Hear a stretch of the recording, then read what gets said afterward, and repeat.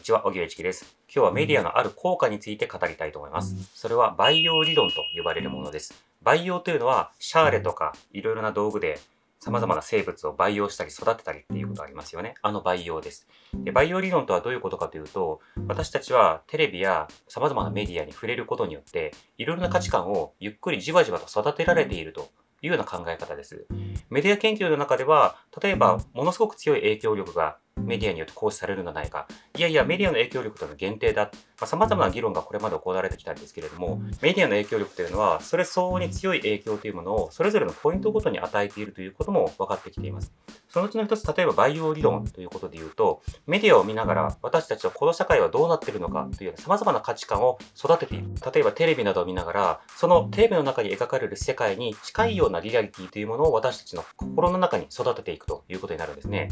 例えば、皆さん、こういった話を誰かがしていたらどうでしょうかこの前、誰々さんが外国の方と一緒に街を歩いていた。外国の方ととても仲睦まじげだった。二人は付き合ってるのかなまあ、こんな噂話を聞いたとします。その時に、その話を聞いた人はどういった方を相手として想像するでしょうかもしかしたら一定数の方は、相手の方は白人なのではないだろうかと想像した方もいるかもしれません。これはまた一つ培養理論というものが関わっているんですね。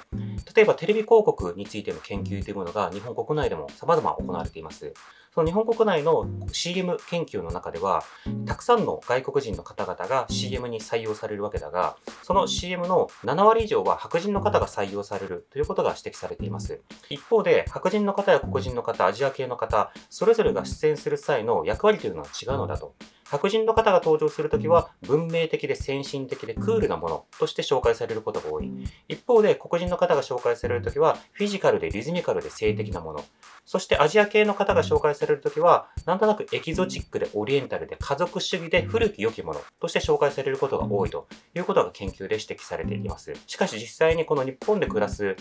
外国人の方のうち、白人の方というのは全体の中では数割程度なんですね。あの、大半の人たちはアジア系、あるいはブラジルなどの南アメリカなどから来られた方が非常に多いということになっています。しかし私たちは外国人と聞くと、パッと白人を連想するようなところがある。これは例えばテレビメディア、え CM、あるいは映画など、私たちが慣れ親しんでいるメディアというのが、様々に白人と接触しやすいようなところがあるので、イメージの一番最初に浮かびやすいというところがあるわけですね。このようにテレビで映された、あるいは映画で映されたリアリティが私たちの中で培養されていく。そのことによって外国人といえば白人といったような考え方というものが強力にこう結びついていく。これこそがまさに培養理論ということになるわけですね。実際街中を歩いてみると、例えば様々なところで海外の方が働いていらっしゃいます。で、多くの方々は皆さんアジア系の方と接触することが多いと思うんですね。で飲食店であるとか、様々なお店のレジであるとか、あるいは街中で通り過ぎる観光客の方も非常にアジア系の方が多い。でもそこに対して実際に自分が見た様々な